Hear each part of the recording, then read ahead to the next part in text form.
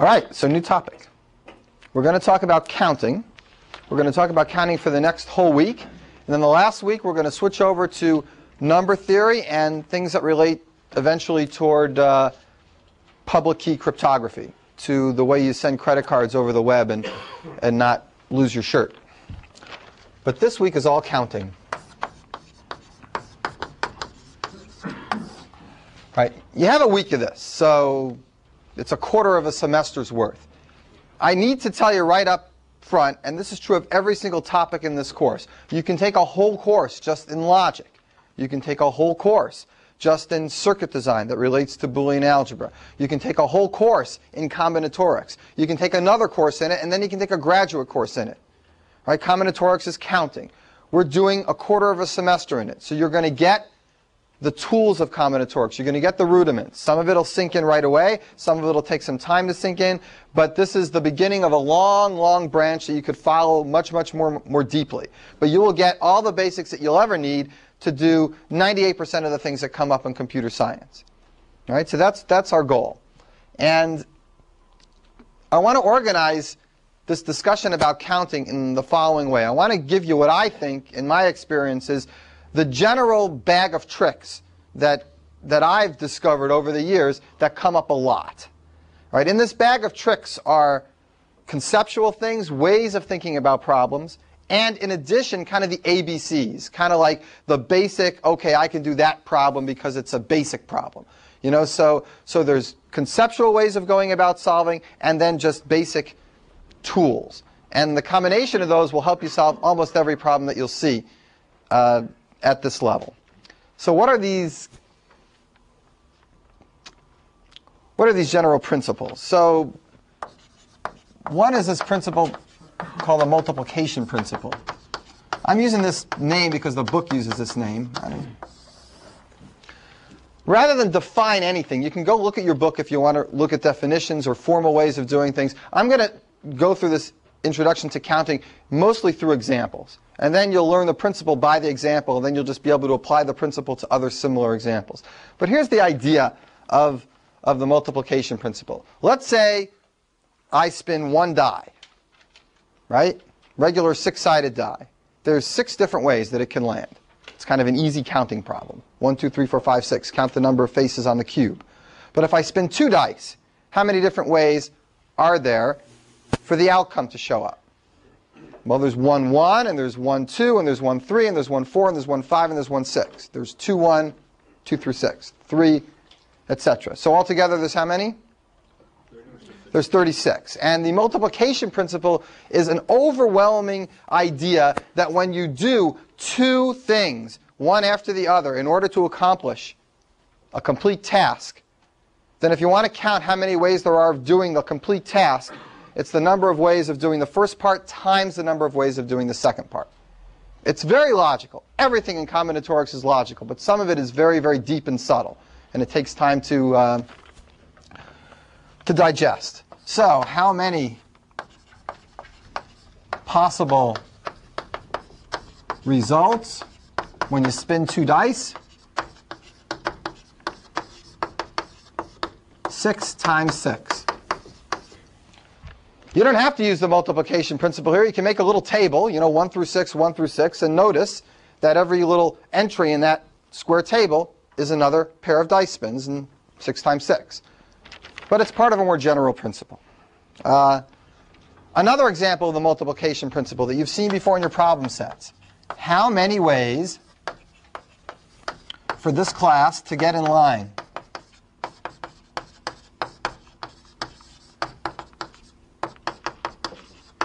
Inline, online, I don't know. It's um, New Yorkers say online. Or inline? New Yorkers say online. Get online. Anyway, what if I had to get, you guys had to all get online and you had to go ahead and, and line up to use the uh, soda machine out there? Right? So I can say there's 36 people here today. There's 36 ways I can choose the first person online. Now I have to choose a second person, and there's 35 ways to choose the next person. When I'm all done, I've accomplished my task. How many different ways were there for me to do this? It's 36 times 35 times 34 times 33. It's the same kind of principle. And the answer is, in this class, since we have 36 people, it's 36 factorial.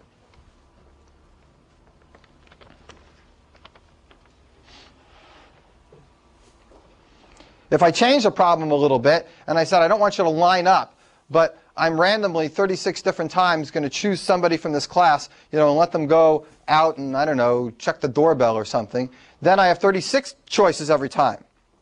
I can pick the same person twice in a row. So then it would be 36 times 36 times 36 times 36, or 36 to the 36th. Right? So not everything's n factorial. Some things are. You'll see factorials a lot. They come up a lot in a lot of different disguises. You can prove things like this by induction. Here's a theorem from 1321. It's not written like this, but it means this in algebra.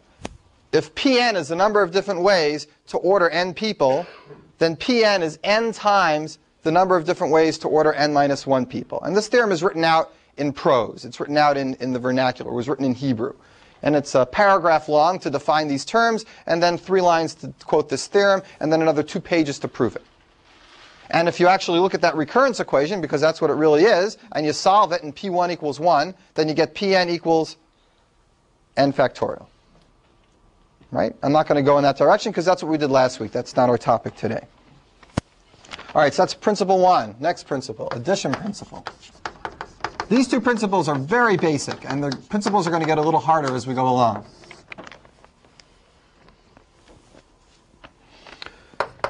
Again, I want to do things by example. So how many ways to spin an odd sum?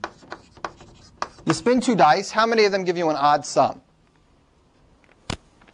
Well, there's one brute force way to do this. Write down all the possible 36 ways and look at them and check each one off if it gives you an odd sum. You can do that. That's, there's lots of ways. Let's do it this way that uses what we'll call the addition principle. Let's divide it up into, well, how many ways can you get it? You can get a 3. That's odd, right? You can't get a 1 with two dice. So you can get a 3, you can get a 5, 3, a 5, a 7, a 9, or an 11. These are all completely separate possibilities. The addition principle says that if you can divide up the things you're trying to count into disjoint possibilities, then count them all separately and add them together. And if you're thinking, what kind of a principle is that? It's just complete common sense. Well, then good for you. That's all it is. It's just complete common sense. So let's add them all up. How many different ways, when you spin two dice, can you get a 3? You get a 1, 2, or a, or a 2, 1. How about 5? Right, everyone agree? Yeah. 6? This kind of symmetry comes up a lot in counting, and there's often a lot more depth behind what you're doing, and you can discover it looking for patterns. But we're not going to do that now. We're just going to look at this, add it up. There's our answer, 6, 12, 18, half of them. I guess that's not such a surprise. Although, I got to tell you, I could easily come up with a problem where your gut instinct would be to guess half, and you would be wrong. So, so be really careful in counting. Your intuition does not always correspond to what happens when you really do the counting. Be really, really careful. Don't make kind of fuzzy arguments and, and, and expect them to work. Sometimes they do, sometimes they don't. All right, my next principle. We're getting a little away from whether we, the book has these two principles, and then it says, okay, here, uh, now I'm going to teach you some basics. But I think there's more principles that the book leaves out. And these are the ones that anybody who gets good at these problems routinely uses. And I want to give them to you as principles so you think of them as part of your bag of tricks instead of having to just discover them by yourself. Um, all right, the complement principle. The complement principle is one of the key things in counting. It basically says, look, if you can't count what you're trying to count, count the opposite. Because sometimes counting the opposite is easy. And what does that mean? Here's a simple example. Uh, how many of the dice that we just spun, how many are not doubles? How many are not doubles? Well, it's a lot easier to count the doubles than it is to count the not doubles. How many doubles are there? Six. Six, right? One, one, two, two, six. So how many were there altogether? There were 36 altogether, minus 6 for the doubles. That equals the not doubles, 30 not doubles. This is a very, very straightforward, simple example of this. But this idea is a fundamental idea that comes up all the time. Let me do another example of this. Let's say you're doing something, some random thing. Say, uh, say I take this teeny piece of chalk and I throw it way over there on the other side of the room, and if it lands in that flower pot, I succeed. Oh, I missed. How often am I going to get that? One out of a hundred, say. Never. Let's say it's one out of a hundred. if not, I'll just move the flower pot down. Let's say there's something I do that's one out of a hundred chance. And let's say I do it a hundred times. So if you ask somebody who completely doesn't think about it for a second, or is very naive, they'll say, well, if you can get it one out of a hundred times and you do it a hundred times, I guess then you'll have to get it. I mean, that's not true, right? I mean, there's plenty of things you do, like say you're a 50% free throw shooter. Does that mean every time you shoot two free throws, you get one in? No, it doesn't mean that at all. It means in the long run, you'll get half of them in. This means in the long run, I get one out of 100 in. But if I do it 100 times, it doesn't mean that I'm definitely going to get one in. Well, what is the chance that I'm going to get one in if I do it 100 times? We're going to calculate this straight up. And this actually relates counting to probability, which is a good connection for you to have. We're going to do this problem right now with a complement principle, and it's not that hard. It's going to be a combination of the complement principle and the multiplication principle. All right, so what if I told you my chance of getting it on the floor is 99 out of 100? That's the same as the opposite of my chance of getting it in, or the complement of my chance of getting it in. Getting it in is 1 out of 100, missing it is 99 out of 100. Now you can do something that's a little bit better. What's the chance of me missing it twice? If I want something to occur and I want it to occur again, that and word is like I'm spinning this die and I'm spinning another die. If you want two things to happen, one and then the other, you can just multiply them together to get the count on it. So if I take 99 out of 100, that's a chance of me missing, and I want to know how many times out of 100 squared I will actually miss. It'll be 99 times 99 divided by 100 squared. That'll be the number of times I miss if I do it twice. Okay? What's the number of times I will, what's the, what's the probability or the number of times I'll miss if I do it 100 times instead of twice? I'll write this out. 99 over 100 to the 100. This represents the chance that I will actually miss 100 times in a row. Okay? If any, anybody have a calculator? I can't do this in my head. Do 99 over 100 to the 100th. This is the chance, the chance we miss the pot 100 times in a row. It's the multiplication principle, one after the other after the other. What do you get? You can't do that in your head. You can do it. All right, but I don't want to. what do you get, Rob? 0.366 something. Okay, so that's a reasonable number, even though I have a strange looking thing here, right? It means that I'm going to miss 100 times in a row a little over a third of the time. So what's the chance I'm going to get it? It's the complement of this. It's 1, the certainty, minus this. So if I ask the question, I got a hundredth of a chance to get this piece of chalk in that flower pot. I do it a hundred times. What's the chance I'm going to get it after a hundred times? A little less than two-thirds.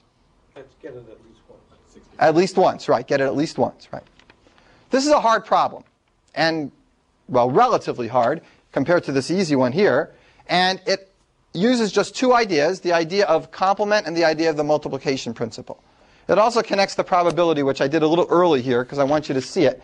And I'm going to come back to showing you the connection between counting and probability later. So keep this in mind as a good example. I am going to build up to this later a little more slowly. Questions? You should also tell them why it's 37%. All right.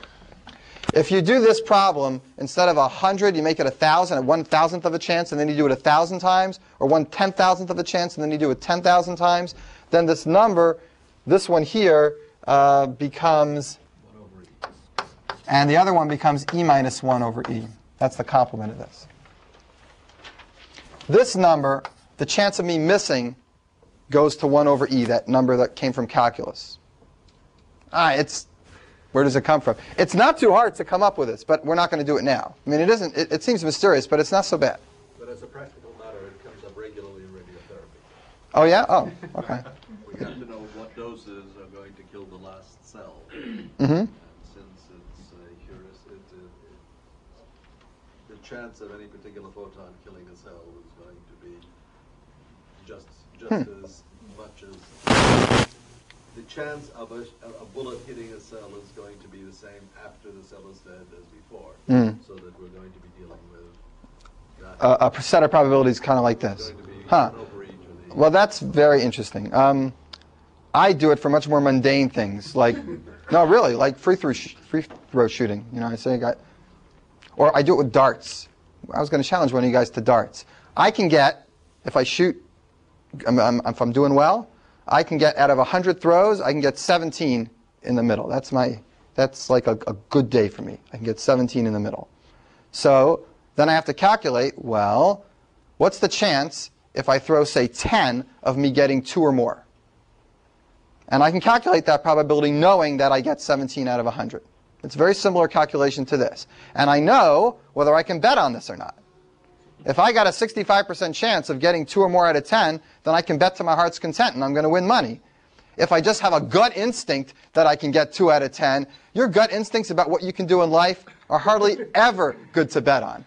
It's just not a way to go. You, you do a calculation before you go ahead and bet on what you think you can do.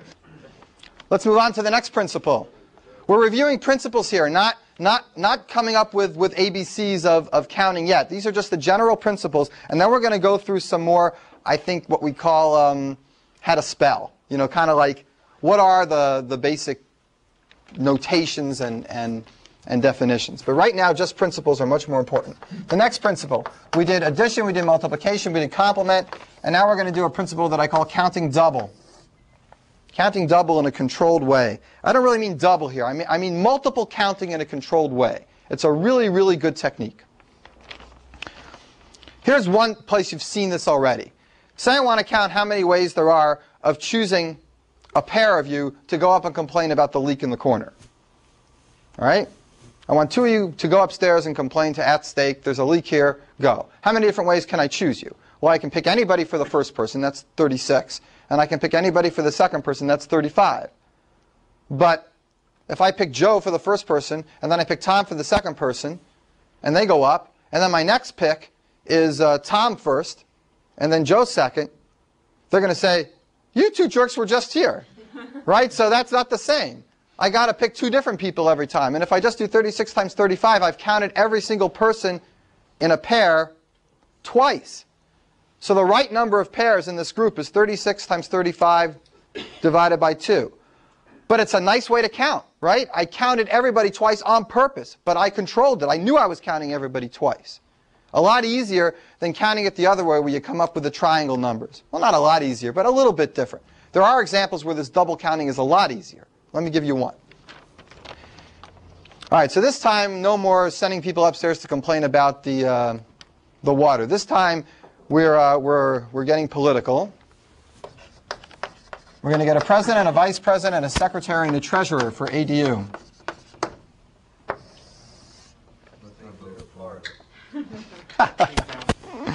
That's right, recount. Uh,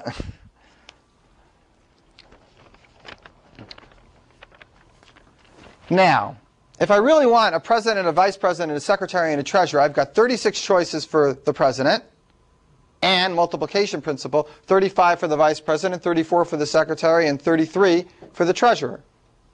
And the order here matters. I mean, it's different if I, if I pick Tom second and Joe first, then one's president, one's vice president. So here I don't want to divide by anything. I don't count anything double. It's actually 36 times 35 times 34 times 33. But what if I don't care who gets what title? What if I just want them to act as a committee? Okay, it's just a group. In that case, I've counted a lot of these things twice.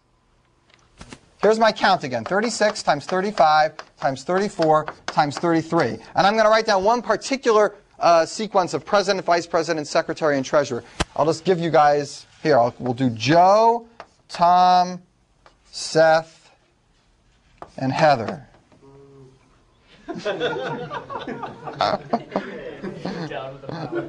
Uh, kick his ass, Heather. Take a look at this. I counted this once. Look at this committee. Now I only care about the committee, right? So all the other possibilities that have J, T, S, H in them in a different order have been counted more than once. In particular, this one's been counted. This one's been counted in there as a separate case. Well, it's really the same. TJSH is the same as JTSH as far as the committee goes. How many different ways are there of counting this guy multiple times? I can rearrange it any way I want. 4 factorial, right? We did that earlier. So I got to take this number and note to myself that every single one of these was counted 4 factorial times. So if I want to get the right number of committees, I just have to take this number and divide it by divide it by 4 factorial. Then I have each one of these possibilities as a committee counted just once. This is an idea you'll see again. It'll come up when we talk about the ABCs of binomial coefficients. But it's a really important idea. Count double on purpose. Count multiple times on purpose. Keep track that you've counted everybody 24 times, and then divide by 24 to get the real number you're looking for. It's much easier to count this this way than any other way you'll try. Questions about this? That's counting double. One more principle before we move on to the nitty gritties. One more principle. When are things the same?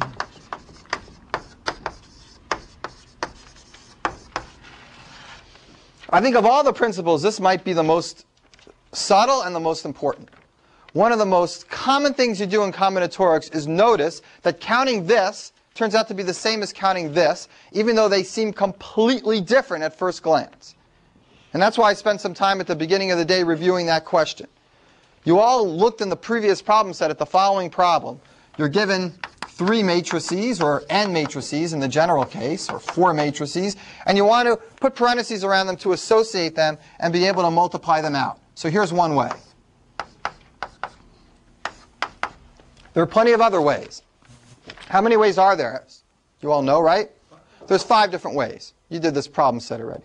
Another thing, which seems like it's the same, but when, when you realize and you think about it for a while, it really isn't. Then you think about it again, you realize, oh, it really is, are these balanced parentheses. Balanced parentheses of three pairs turn out to be exactly the same as counting different ways of associating four matrices. Give me four matrices. How do I associate them? How many ways can I do it? Same as the number of ways to write three pairs of balanced parentheses. These things are the same. It is not obvious they're the same. You have to think carefully and explain why they're the same. There's one more thing that's the same as these things, which isn't obvious. As I said before, the number of different binary trees with three nodes. Here's a couple of them. There's five of those too. All three of these obey the same recurrence relationship. All three of these have the same values for given number of nodes here and here, given number of nodes, given number of pairs of parens, and given number of matrices plus 1. They all have the same exact counting structure. Not obvious. Let me give you another situation like this when it is obvious, or at least at the stage where you are that you'll feel it's obvious. This is something you've seen before the maximum number of edges in a graph with n nodes. Okay, I have a graph with n nodes. I want to throw in as many edges as I can, no multi-edges. Just two vertices or two nodes can be connected by an edge, yes or no. What is this the same as that we just talked about? Number of pairs complaining about the leak. Right. Number of pairs chosen from a group.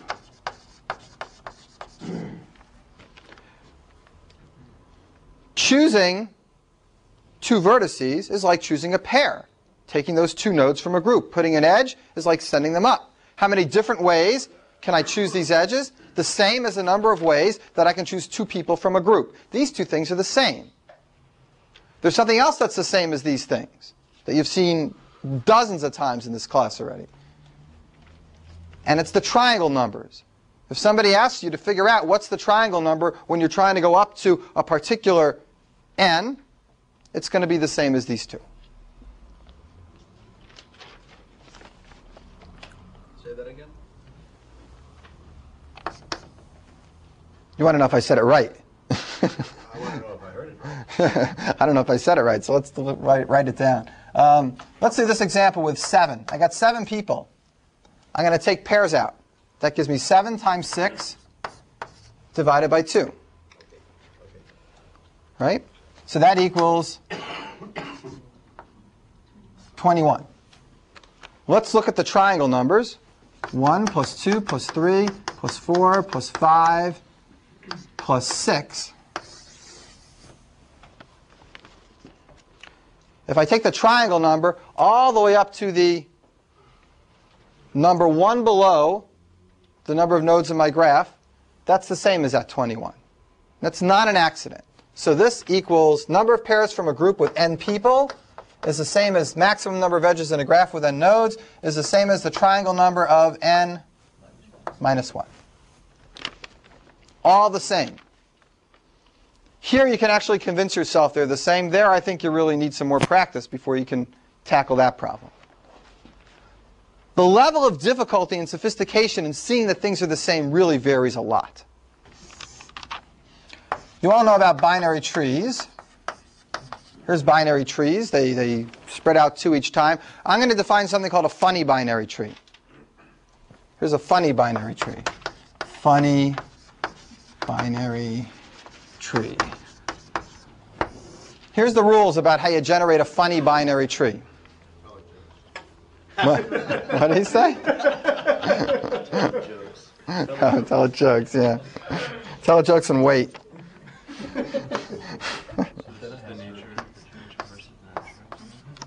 Here's how you build a funny binary tree. You, on the left side, split it into two, and on the right side, only have one coming out. Leave off this right node. Let's continue this down to the next line. On the left side, it splits into 2. On the right side, it splits into 1. What about here? Let's do a couple more layers. Do you see how this graph is defined inductively? I describe how the next stage comes from the last stage. Two, one, two, one, two?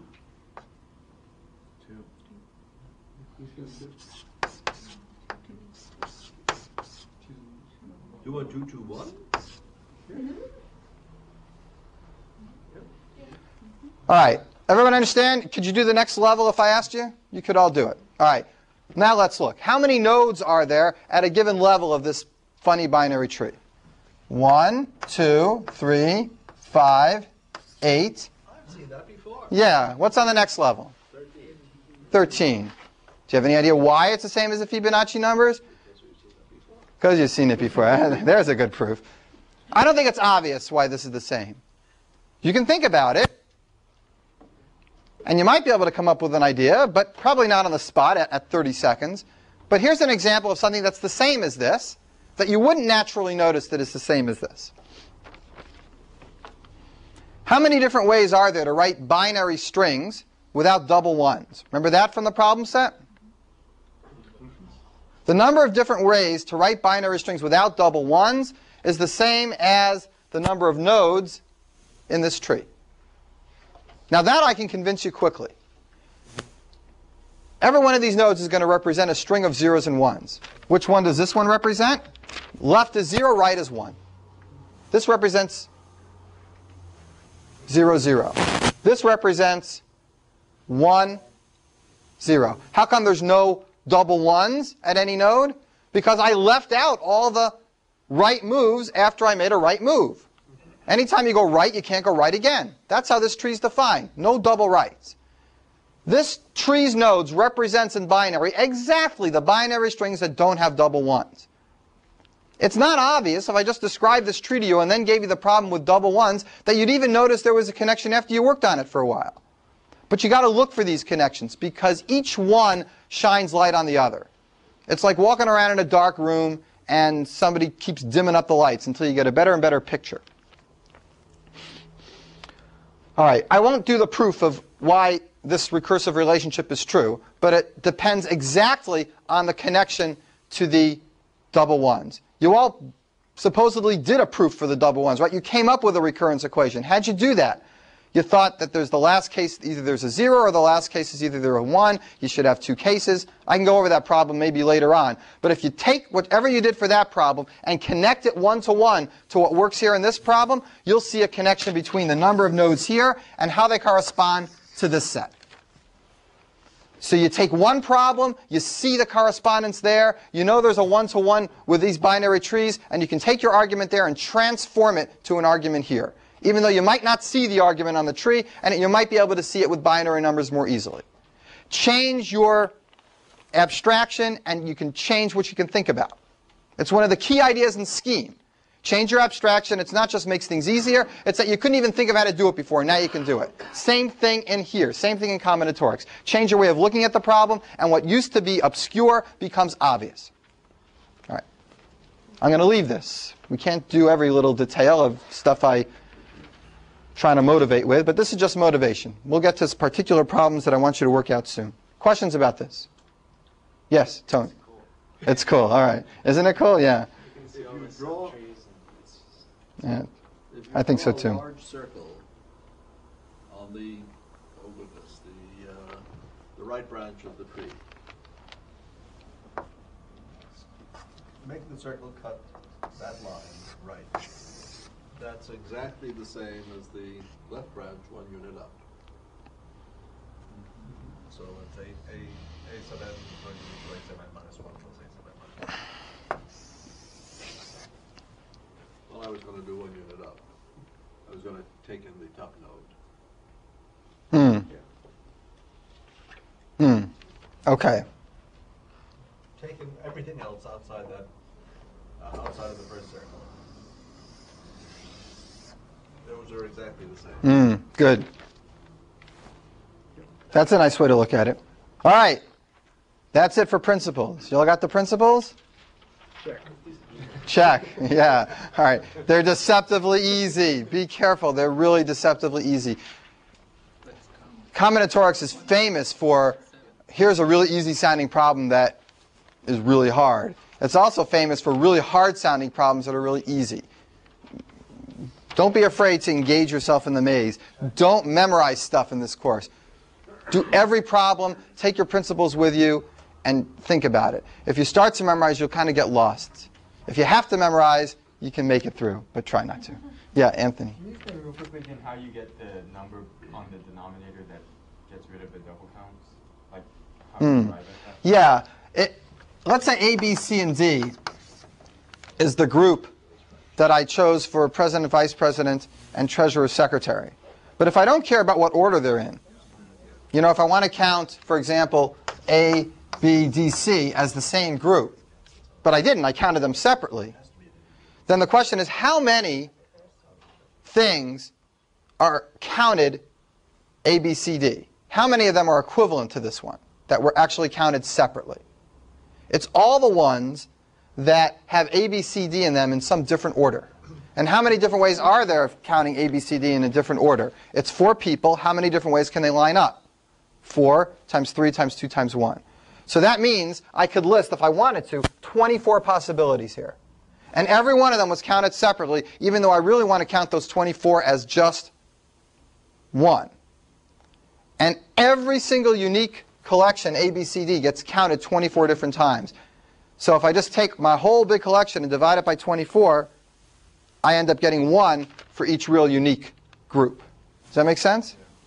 It's a really good question, and, it, and it's fundamental, and it seems so easy after you've thought about it for 10 years, and it's not easy. And I just got to tell you, just to, to admit my own, the reason that that I like this part of the course so much, and the reason I spend so much time, or I feel I'm spending a lot of time, making sure we do it in a gradual way, is because this is the part of the course that when I first learned it 20 years ago was the most dense to me. It took me a long time when I first saw this stuff to, to really digest it and have it be automatic. But it'll come if you just spend 20 years, if you're me. But you're smarter than me, so it'll take you less, yeah. So, if this was these four were being chosen out of a group of ten, was it going to be ten factorial over four factorial, or was it just ten times? If we chose this group out of 10, Yeah. we'd have 10 Yeah. times 9 times 8 times 7, and then we divide it by 4 times 3 times 2 times 1. So in the so in the just picking two people out of a group of ten, it was just ten times nine divided by two factorial. Exactly. Right. okay. And we're going to do this right now. What you're discovering right now, which is just perfect, it's like a pedagogical dream. It's like, I'm just, we're doing this right away. You should exactly be thinking about these things. Once you have these principles, the next thing you discover are these things called binomial coefficients, which is exactly what Chris was asking about. And we're going to do that right now.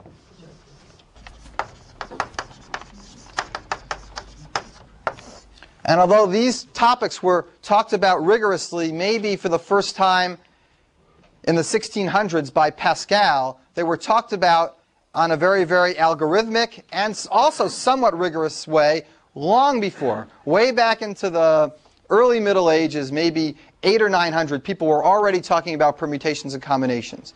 They didn't do proofs with it mostly. By the time 11, 12, 1300 came along, there were some proofs that you can find in Islamic and, and, and Hebrew uh, mathematicians' works. And then nobody really knows whether or who looked at that stuff from this huge gap between the end of the Greek period and the beginning of the Renaissance in Europe. But there was clearly a transmission of information. It didn't just jump. There wasn't this dark period in math as, as people kind of think. There was definitely an evolution, and it worked its way, permutations and combinations having a very fuzzy but, but, but definite origin sometime in the, in the early Middle Ages. All right, so people knew about this stuff a long time ago, and they did it for mysticism and for astrology and also for astronomy in all sorts of different ways. But we're going to do it today for computer science. Here's a symbol PNK. We used PN before to mean the number of permutations or the number of ways to order n elements. So what this means is I want to choose k people from n people, and permutations mean that I care about the order. That I care who's president, I care who's vice president. So for example, p of 36, 4 equals 36 times 35 times 34 times 33. No division because I absolutely care about who comes first. We just did that problem. This is a general way of writing it for any n that you start with and any k that you're choosing. And we're going to come up with a formula for this now, now that we understand the principle for the particular case. Questions? Well, let's write it out. The choice for the first one, how many choices do we have? n, right? Not 36, but n. And then the next one, n minus 1, all the way n minus k plus 1. Is that the last one? Let's just double check. Sam's right, of course, but let's double check. Uh, let's double check. The last one here was 33. 36 minus 34 gives you 32. n minus k. Then you got to add one to make sure you don't go too far. Just make sure you get the detail right. Now, that's not usually how we write it. Although back in the Middle Ages they would write it that way, they just wouldn't write it with these symbols. They'd say it would be the product of all the numbers starting from 1 where you go in a downward direction, subtracting 1 with each subsequent number until you get to the lowest number, which would be k less than the number you started with plus 1. You could not figure out what the person was talking about unless you already knew the idea in advance or you spent five hours deciphering it. So notation is very important. And it's clear that there were definitely mathematical works back in those times that for a hundred years went completely not understood. It just wasn't clear anybody could make heads or tails out of them, unless the teacher actually was presenting it. All right, let's go ahead and write this in a better way. It's n factorial, right? It's everything, but let's divide out this part. And that'll give us what we have left up there. What's that part? No. Oh, I get. n factorial divided by n minus k factorial. Does everyone see why this is the same as this? It's because you have the whole list of products, and then you want to divide through the stuff that would come later. That's the formula. Let's make a formula for the same issue, but we do not care now about the order. We want it to just be a group of four. Same as before, but now this is called combination, so we say C of nk. And it's the same formula except for one thing. What do we do to fix this? Right now we have to divide through by, in this case, 4 factorial, or in general, k factorial, because we have counted each one of the things that we're trying to count k factorial different times. So we divide through by k factorial to make it work. This comes up more often than this, although they both come up a lot. This comes up in so many areas of mathematics that it's completely fundamental to know this and have it be as automatic to you as arithmetic. It's so fundamental and automatic that it has a special symbol. This and this are the same. And we say n choose k when we want to talk about this symbol. n choose k means that I'm choosing k things from n, and I don't care about the order. These things are called binomial coefficients. And you'll see why in a second. Shay? Yes. Um, could you explain one more time why we're dividing by n minus k factorial? Yes. This n factorial takes n times n minus 1 all the way down to 1. I'm going to put this in for a second.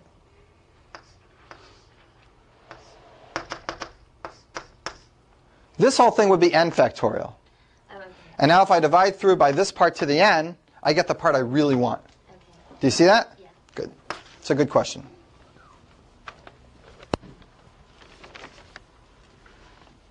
Other questions so far? Okay, good. I had a, I had a fifth grade teacher who was a very nice man, but he, uh, he was also a very strict guy. And this was in some Bible class I was taking about the prophets. And, and we were studying something, and, and he asked me, What does this word mean? It was a Hebrew word. And I hadn't the slightest clue what it meant.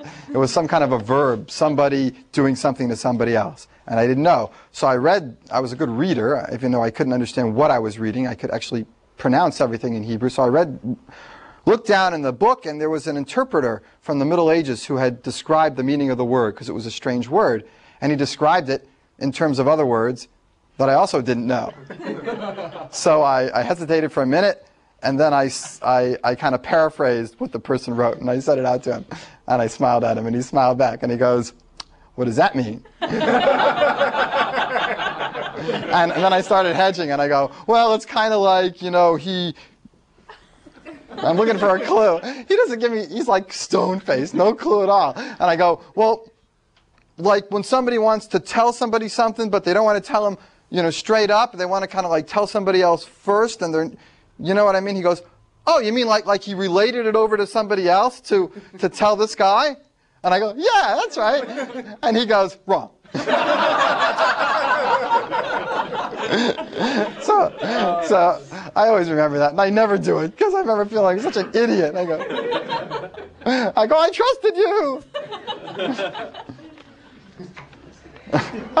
Let's see this problem. What's the coefficient of x cubed and x plus 1 to the seventh? This seems like a completely unrelated problem, but it's completely related to this point. And I want to run through this with you because in going through the answer, you'll understand the connection between this counting idea and this question, and you'll understand why these things are called binomial coefficients. So here it is. Here's x plus 1 to the seventh. One, two, three, four, five. This chalk is great. it's so much better than that other lousy chalk. Great faster now. I feel good. I'm, I'm moving. It's good chalk. And it's not dustless, it's dust-full chalk. That's what makes it work. Multiply all those out with that chalk and you'll give it a good. We're not going to multiply it out, but we are going to do this. Right, it's hideous to multiply the out. Nobody wants to do it. But what you can do if you write it out this way is notice that any one of the terms, if you did multiply it out, can be written in the following way if I keep track of what x's I'm dealing with. So I'm going to write x1 here just to keep track. x2, x3, x4, x5, x6, x7. And let's multiply through an example. I could get x1 times x2 times 1 times x4 times 1 times x6 times x7. I can just multiply through, and as I go along, left to right, I can choose either to multiply through the x part or the, or the 1 part. Now let's try to write down, as I do that, which ones end up having three x's in them. Because those are the ones that will accumulate to eventually giving me all the x cubes. Right, let's write them down. Let's start writing them down at least. x1, x2, x3, 1, 1, 1, 1. Okay, that's 1.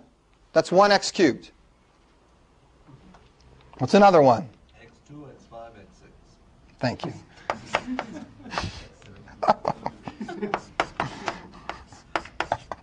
must, it must have been so much fun to grow up in your house. That's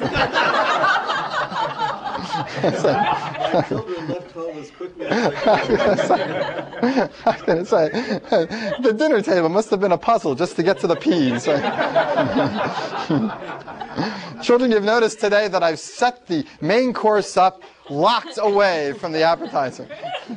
If you can get it within a minimum number of moves, it really would have been fun. Uh, here's another one. Every one of these combinations of x's and 1's multiplied together as you go left to right corresponds to 1x cubed. So I could list these out and, and exhaust them, but that's just what you don't want to do in counting unless you're desperate. You don't want to go the brute force way. Okay? If you're desperate, you do it. But we want to figure out a way to count these more easily. What is this? There's seven places here, right? Imagine that they all had ones in them. What we're really doing is choosing three of those ones to get replaced with x's. How many ways, if we have seven ones, can we choose three of those places to throw x's? 7 times 6 times 5. I don't care about the order, right? If I pick x6 first and x2 next and x5 last, that's the same one. I don't want to count that twice. So I don't care about the order. I care just about choosing a collection of three places from 7. That's exactly the same as 7 choose 3, which is exactly the same as 7 times 6 times 5 divided by 3 times 2 times 1, 35. So you can see it would be good because we take 35 ways to exhaust this. It's better that we do it this way. That means there are 35 ways of multiplying these terms together and getting 3 x's in the resulting term. That means there are 35 pieces of this multiplication that will have x cubed. So the coefficient in front of the x cubed is going to be 35. Right? This is an important problem to look at. It connects counting back to algebra. All right, let me stop for a second. Tar, Tar and I did a card trick at the very beginning of this year, which you are going to see again in this kind of the roaming problem set that I that I put up there that needs to be done by the end of the year. And this I know what you're thinking. You're thinking he said year instead of month. this problem had to do with you choose a set of five cards. My assistant looks at your five cards, doesn't show them to me, picks four of them out, and then hands me four of those cards in order so I can see what order they come in. And then I look at the order of those four cards and I determine the fifth card that's in your hand. And this is not a magic trick, it's just a combinatorial trick. You can make it look like magic if you patter it up a lot, but, but it's completely a mathematical trick. We're going to do that again, but before we do it, not today, we won't do it, but we'll do it soon, next couple days. Before we do, what I want to do is show you part of that problem and analyze it combinatorially. How many different ways are there for you guys to choose the five cards to begin with? How many different sets of five cards could show up in your hand if I start with 52 cards in a regular deck and I let you choose? It doesn't matter what order you choose them, right? It's just the collection of cards in your hand. So it's 52, choose 5. That's 52 times 51 times 50 times 49 times 48 divided by 5 times 4 times 3 times 2 times 1. Right? That's the number of different ways you can choose cards. All right. Now, out of all those ways, then, oh, here's my assistant. Then, then Tara picks, uh, is that you? I got my glasses on. So Tara picks four cards out of that, out of that uh, collection.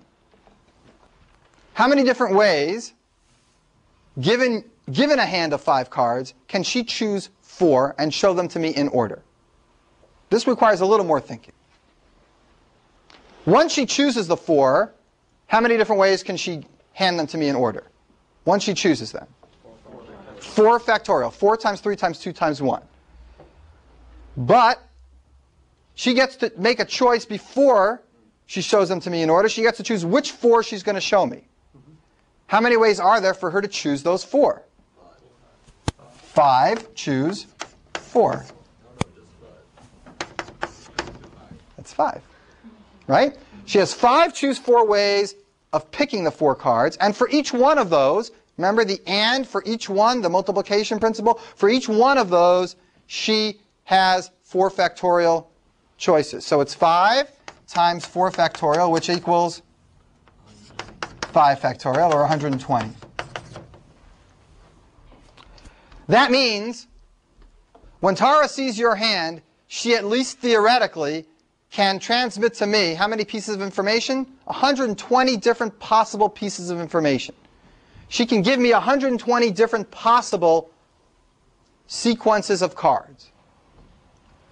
Since there's only, well, one card left in your hand, presumably, with 120 pieces of information, I should be able to determine the card left in your hand because there's only 48 cards that I don't see. I even seem to have a little bit of slack. So at least theoretically, it looks like we could do this puzzle. And we'll get back to this puzzle again, but I wanted to immediately show you the connection between what you just learned with combinations of permutations. It relates immediately directly to analyzing that puzzle that magic trick. Questions? All right, we're moving along. You guys are cooking, cooking with gas.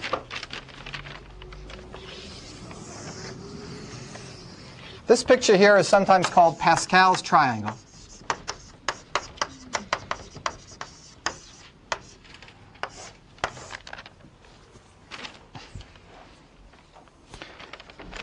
Pascal didn't actually invent Pascal's triangle. A lot of people had pictures of it in their works long before Pascal. Sometimes when I give talks on, on my own research in history of math, I show some weird script in Hebrew with this funny weird diagram that looks like it's Pascal's triangle. Actually, it's just long division. And I ask any group of mathematicians, hey, what do you think this is? And they all guess Pascal's triangle. And I go, oh, no, it's just long division. And they all look at me like, we wanted Pascal's triangle. But it also it shows up everywhere. You can get in almost every culture Pascal's triangle shows up. It's very, very fundamental. You can find a lot of stuff in it. Not only the binomial coefficients that I just told you before, but all sorts of other relationships. The Fibonacci numbers show up here in an interesting way that you'll see in your problem set. Almost everything you've seen in some way shows up here. Where are the triangle numbers in this picture? Anybody see them? The third diagonal number. Triangle numbers. Well, what is this weird picture? And why does it have so much symmetry and, and beauty and, and, and combinations? It's just got so much in it. This picture is supposed to represent the binomial coefficients of all the possible values of n and k. So for example, let's take this row. This row is 2 choose 0, 2 choose 1, 2 choose 2. 2 choose 0 is, oh, what is 2 choose 0? How many ways are there of choosing nothing from a set of 2? Well, there's one way to choose nothing. You choose nothing. So there's 2 choose 0 is 1. 2 choose 1 is 2, and 2 choose 2 is 1. The next row is 3 choose 0, 3 choose 1, 3 choose 2, and 3 choose 3. It's a table of all the binomial coefficients. Everybody okay so far? I want to show you a theorem which is known as the binomial theorem that relates to this and relates back to the algebra we just did.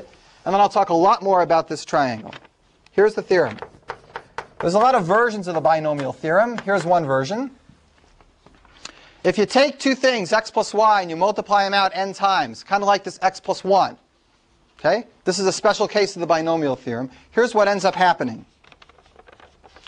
First, I'm going to write these terms out. x to the n, x to the n minus 1 y, x to the n minus 2 y squared. The first thing that happens is, I need more room. I'm going to rewrite this, sorry. x to the n. What's so funny? It's not so bad.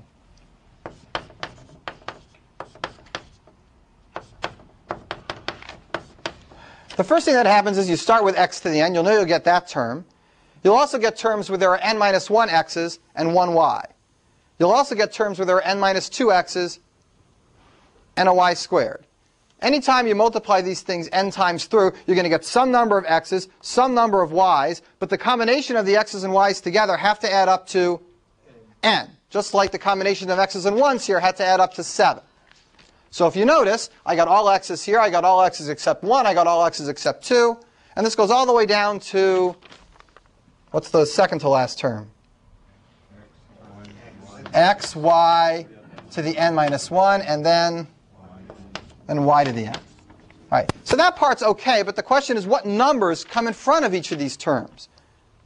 Remember here, in front of the x cubed 1 to the fourth term, we got 7 choose 3. So the binomial theorem tells you that this is general. And here's what comes in front of each of these terms. In front of here comes n choose 0. In front of here comes n choose 1, n choose 2, and choose good. Was that you, Joe? Yeah. Good for you. and then n choose n.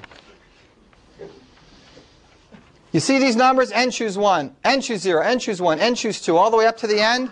They represent a particular row in this triangle. So if I want to know, for example, what's x plus y cubed? All I got to do is write these out. x cubed, x squared y, x y squared, y cubed, and copy these numbers over. 1, 3, 3, 1. Who gets this? Half of you? Two-thirds? The binomial theorem gives you a way of taking expressions like this and splitting them up into pieces. It's deceptively useful. It looks like it makes things more complicated, but it often makes things easier. You're going to see it come up later on. I want you to see it today because it connects to this nice example of permutations and combinations, and because it, relates to this triangle that lists all the permutations, that lists all the combinations for every n and k. All right, let's make sure everybody gets this. What if I have uh, here 1 plus 1 to the n. Okay, let's use, let's use the binomial theorem. It equals 2 to the n. You're all laughing. You're right, it equals 2 to the n. What does a binomial theorem tell you that it's equal to? The x's and y's are all 1s, right? So they all become 1s. That's a nice example to use. You don't have to worry about the x's and the y's. They're all 1s. x to the n is 1. x to the n minus 1 is 1. y to the anything is 1. So what do you get here? n choose 0 plus n choose 1 plus all the way up to and choose n. And that equals 2 to the n. Well, that's neat. That came out for free. This is one of the basic combinatorial identities. There's dozens. There's a hundred of these. Don't memorize them. Well, this one you can memorize if you want to. One, nice. What? Which one? One minus one. All right. I'll go for it. Who knows what happens if we run through 1 minus 1? You get 0, right? what's the series going to look like? Every other term is going to end up being negative because these negative negative ones multiply, and when you have an even number of terms, you get positive, and when you have an odd number of terms, you get negative. The terms, number of terms change one each time, so they start equal to minus, plus, etc. I don't know if this is plus or minus, huh? This is negative. That's neat. So if you alternate the terms, well, that means we can, let's check this out. This should equal 2, this should equal 4, this should equal 8, right? No, no, no, it's not, it's not, it's not necessarily negative. Yeah, It depends on on the- It depends on the end, right? depends upon whether n is odd or even. I'll put a question mark here. Depends, right. It's be 2, 4, 8 if you add them. This should be 16, is it? Better be. Now let's do the, uh, the other trick. 1 minus 5 plus 10 minus 10 plus 5 minus 1, that should be 0. Well, that's because it's symmetrical, but go up to the 16 row, and that's impressive. To this row? 6 plus 1 equals 4 plus 4. 1 minus 4 plus 6 minus 4 plus 1. 0? More impressive. Agreed. This is symmetrical, not so fancy. This is less symmetrical, more interesting. There's a lot of hidden cool things in the binomial theorem. We're going to touch on them later. It's NCN minus k, that's another impressive one. It's completely symmetric. What do you think the squares of these things equal? Yeah, for another day. Square of n0 or the square? n0 squared plus n1 squared plus n2 squared. Adding instead of just adding up the regular binomial coefficients, n choose 0, n choose n, we'll square them each and then add them up. That's all right. You'll see it on a problem set. That's okay.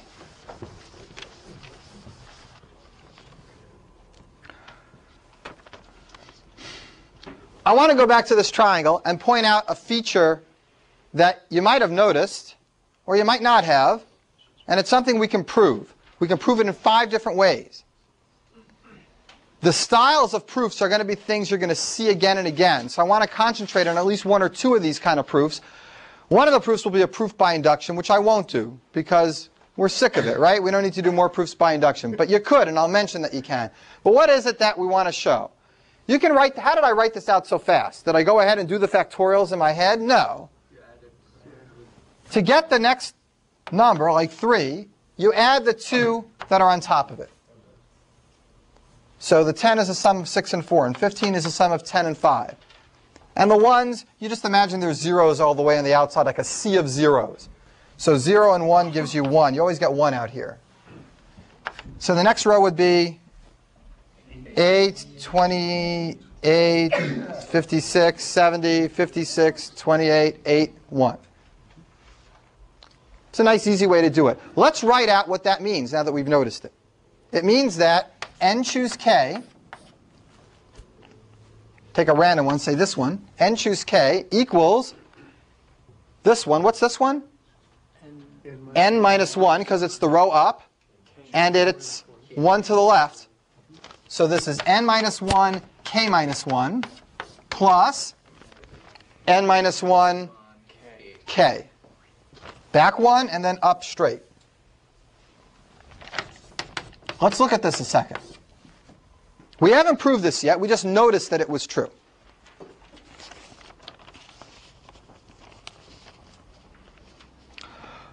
One way to prove this, and I'm going to leave it to you if you feel like, because it's a very boring way, is you have formulas for all these three things, right? And factorials. Plug them in, see if they're all the same. You can all do it. And that would prove this formula. And it would be a perfectly fine proof. Everyone agree, right? It's just going to be a bunch of factorials. You mush them around. Let's do it a different way. So there's proof by formula. Check. There's proof by induction. Yak. Actually, in this example of proof by induction is not so easy, and it doesn't scream, and it's not natural, and it's hard. You get these ugly things when you try to prove it by induction. So it's a good thing we're going to leave that there. But we're going to prove it by combinatorics, by counting. Proof by counting. This is an important method to learn. Woohoo! Let's do this proof by counting. I'm going to show you that if we think about this in terms of how to count it, that it's the same as if we think about the sum of these two things as far as how to count them.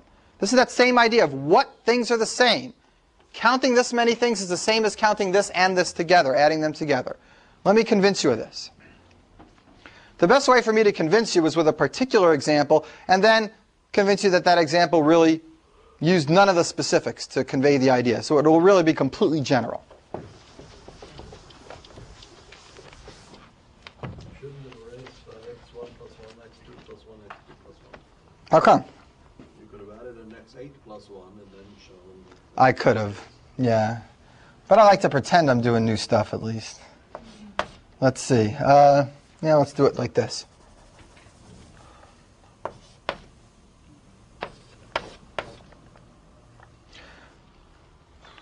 I got seven things A, B, C, D, E, F, G. I want to choose three of them. I don't care about the order. How many ways are there to do it? 35 ways, right? 7 times 6 times 5 divided by 3 times 2 times 1. I want to divide these ways up into two categories. Some of the ways, there's a very special individual in these seven. Let's say they represent people. Okay, so say A is the uh, that woman down in Florida that gets to decide who becomes president. Everybody else is just some some schmuck. Doesn't matter. There's an important person in everybody else. So what happens? I have to choose three of these people for my committee. So in my head, I'm thinking about, well, there's two possibilities. Either I include the person, you know, who can push the button on who's president, or I don't include her. Right? Some of these committees of three will include her, some won't. Everybody with me? How many committees include her? She's included. How many committees include her? If I include her, then I can include just two more people. I include those two people from 6. This represents the big wig is included. Okay? But that's not all the possibilities. Let's do the rest of them where I do not include her. If I don't include her, that she's out of the picture, I have six left, but now I have to choose three from those six. n choose k equals n minus 1 choose k minus 1 plus n minus 1 choose k. There's nothing I did here that was specific to 7 and 6. If I had written it up with n's and k's, it might have been a little less clear, but writing it up like this doesn't make the argument any less general. There was nothing I said that really relied on 7 and 6. This list could have gone on forever, and your answers would have been just the same in terms of the n's and the k's. So let's call that a proof. Check. Check. That's a proof by a combinatorial argument. Let's do this by combinatorial argument. Okay, we know this is true by, by binomial coefficients. Let's do it by a combinatorial argument, by a counting argument. Michael. You're making an argument with one set and one set of numbers, and that qualifies as a proof for the entire thing. Mm-hmm. In this class. Me and Euclid. I'm arguing that I didn't use anything particular to 7 in this argument. You want me to write it out the other way? No, I, I'm, I'm not being facetious, but I'll write it out the other way, and you tell me if it's more clear. Here are my elements, x1, x2, xn. Let xi be a randomly chosen element. I'll keep talking, I'll stop writing. Be a randomly chosen element where i is between 1 and n inclusive. Then I claim the number of ways to choose k things from here is divided into two subsets. The subset that contains xi and the subset that doesn't contain xi. The subset that contains xi, how many ways are there to do that? there's x n minus 1 things left, and I have to choose k of them. So it's n minus 1, choose k. And the subset that doesn't contain xi, did I do that right? k minus 1. And the subset that doesn't contain xi, I still have n minus 1 things left, but I have to choose k of them. So I would write it all out like that. It would take me a half a board, and it would still be just as general. So I'm really not kidding about it. I mean, I have to write it out more detailed to meet a 20th century audience. But the issue is, have I convinced you that this argument is, is, is in general? And, and I didn't use anything for 7 and 6 that were particular, so I think I did. Although you did assume a particular A. I mean, Right. And If- if- you can pick any one you want. This is, you don't have to pick a random one. You can say pick the first one. It doesn't matter which one you pick. The whole thing goes through. You can choose anything. You have a lot of choice. It doesn't have to be my adversary that, that wouldn't there be picks it. seven times that many possibilities because there's that many possibilities when A is the one that we're concerned with, and then there'd be that many when B is the one we're concerned with. No, there wouldn't. If, if I pick A as, if I choose A as the one I'm going to focus on, then all the possible collections of three committees, committees of size three, either include A or they don't include A. That gets, takes care of all of them. I could divide it into another two possibilities where they either contain B or don't contain B, but those two groups of two sets would overlap a lot, and I certainly don't want to count them all. So I can, and, I, and it's okay, and it's a good idea to focus just on one of them. It makes the proof easier. So I can tell that I didn't convince everybody of the truth of this, but but I'm not going to do it in more generality because you can find this You, proof you in. convinced us the truth of it. You didn't convince us that if I put that on my problem set, Uh, yeah, credit for it. You know what? If you really wrote it down in complete English and then you said, and there was nothing here, you know, that where I used the seven and six, so this is a completely general argument, I would accept it. Absolutely. Let's go back to here. Let's try to prove this in a bunch of ways. We proved it by the binomial theorem. That was cool. We could try to prove it by induction.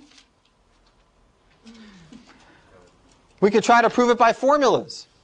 Right? You could plug in the formula for each one of these binomial coefficients and add up that whole list of factorials and get 2 to the n.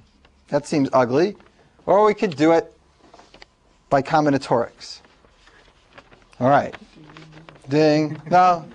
Ding, ding. You know where you're going to do it? On the problem set, you're going to do it by combinatorics. But today, I'm going. I'm backing up. We're doing the yuch. I'm going to prove this to you by induction.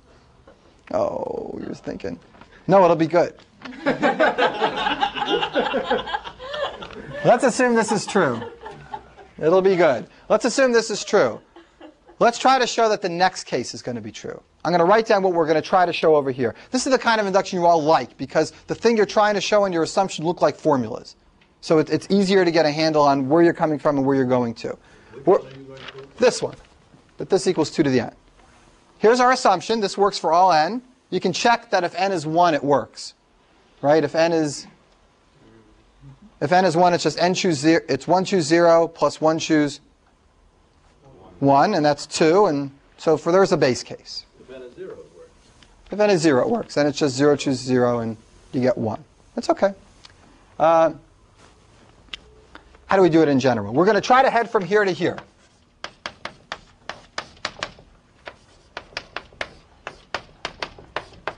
You're not going to hate this proof. I promise.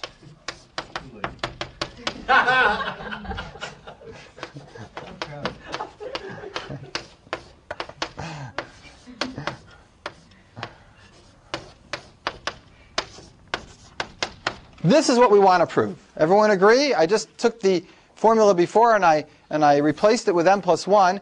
Not that I know this is true. I don't know it's true. I know this is true by my inductive assumption, and I'm going to try to prove that this is true. No, we want to add an n plus one o cn plus one.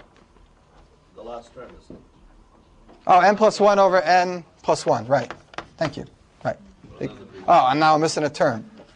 there we go. the wonders of chalk, right? right. High tech. Can't make any chocos. All right. Um, what's next? We want to get from here to here, or from here back to here. Some connection between these two.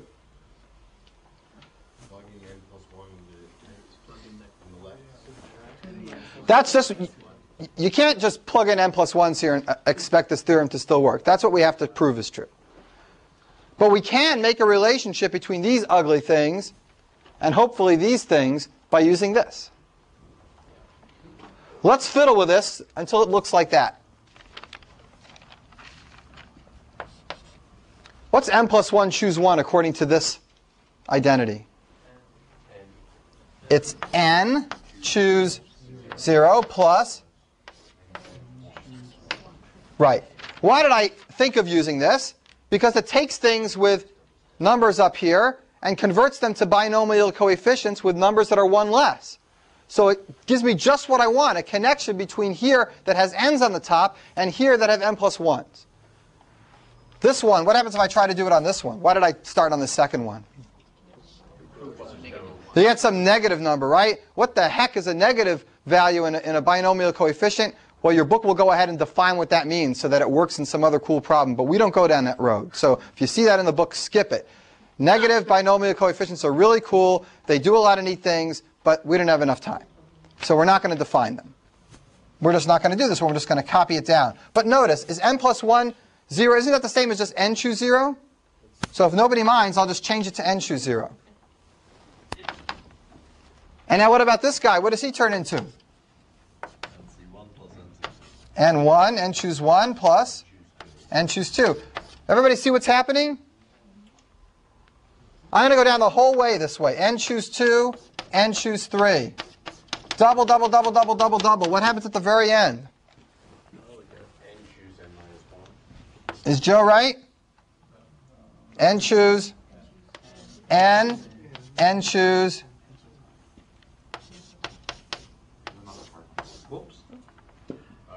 Can we do that? No. Sorry.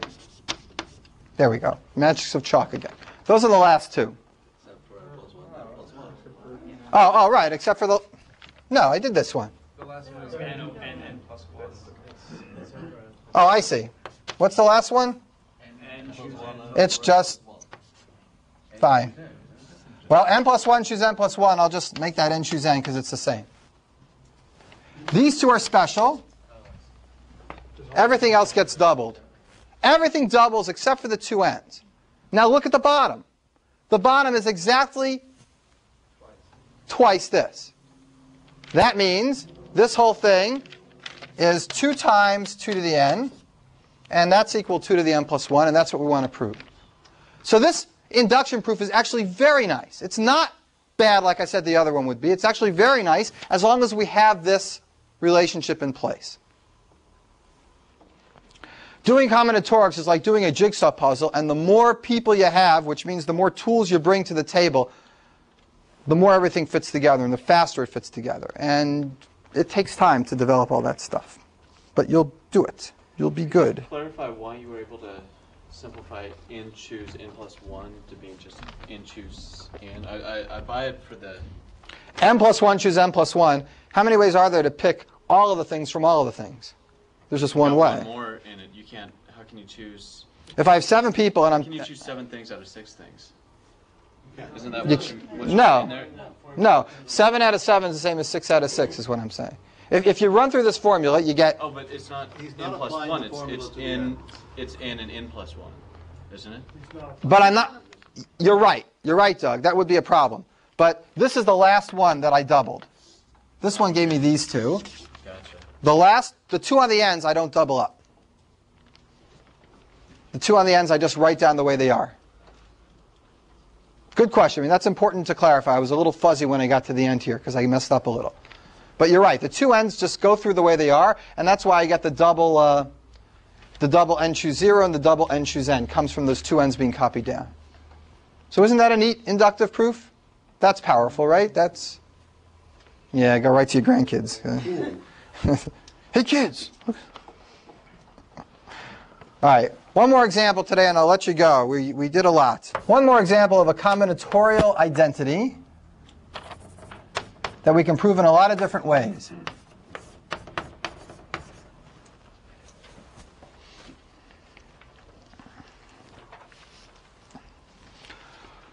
One way you can prove this is by substituting in formulas with factorials and doing algebra. I know you guys can do it. We won't do it here.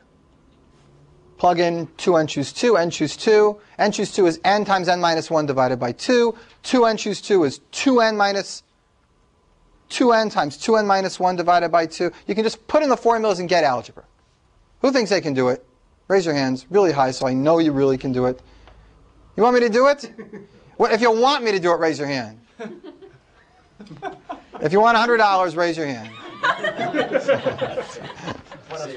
Just making, making sure. That's making sure. All right. That's one way. You could try to prove it by induction. That's another way. We really won't do it that time. But I want to do this with a combinatorial argument again. I want to show you that counting this number of things is the same as counting this number of things. So the way to show that two formulas are the same is to come up with something where counting it one way gives you this and counting it another way gives you this.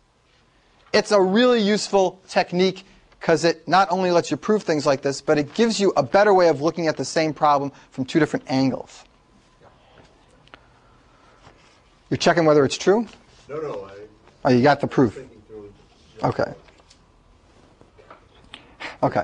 Uh, all right, I'm going to try to do this proof more generally, since Michael didn't buy my, my more specific proof last time.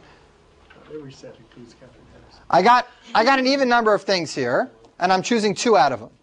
Since it's an even number, in my mind, I'm going to divide it into two halves.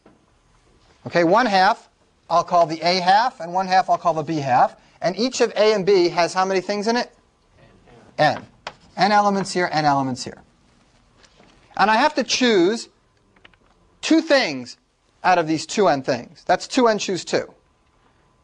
Now I'm going to show you another way of thinking about how to choose two things from an even number of elements.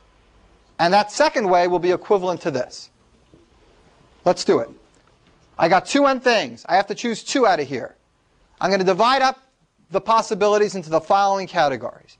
Either my two, let's make this a little more motivated. Okay, so I got two N people. Half of them are men, half of them are women. I got to decide whether I'm going to pick two people of the same gender or one of each gender for this committee. All right? That divides up the category into two parts. The committees that have one man, one woman, and the committees that have two people of the same gender, either two men or two women. Right? How many ways are there to choose committees that have one man and one woman? I'll give you a hint. You could have done this before you started today's lecture. I got n choices from here. Well, maybe not before, but after five minutes. n choices from here and n choices from here. I can combine them in any way I want. If I have three men, three women, I can take any one of those three men and combine them with any one of the three women. It's like spinning two dice. One with n men, one with n women, and I get n squared possibilities. That's this. One man, one woman. Two men enter, one man leaves. Where does that reference come from? It's a Mad Max movie. This is the Thunderdome. Ah, some of you watch that. It's Mel Gibson. He does Shakespeare. Let's do this one. Now I got two men or two women. Two men or two women. So if I'm going to pick two men, I got to pick them from this set. How many ways are there to choose two from this set? And choose two. That's men. How many ways are there to choose two women? And choose two. They're completely distinct here. They don't interfere with one another. So one man, one woman, n squared.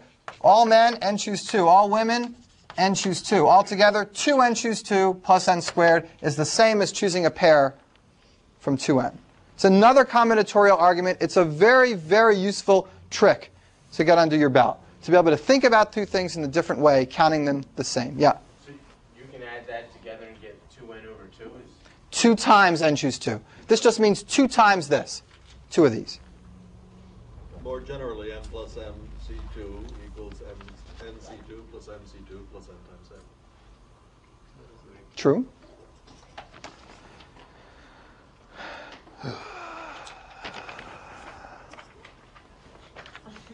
All right, we're done.